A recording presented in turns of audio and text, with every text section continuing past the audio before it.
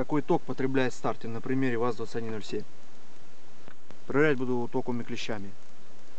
Вот такими.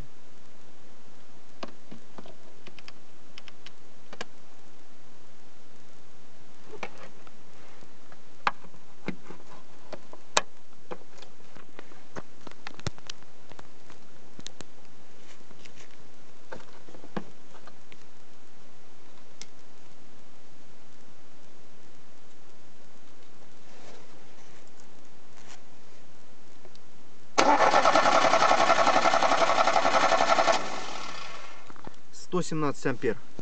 Но это на прогретом двигателе. Т- На холодном проверял, это при минус 10 градусах, было около 200 ампер. Но чем холоднее, ниже температура уже среды, тем гуще, гуще масло и ток потребления больше. Потому что нагрузка на стартер выше.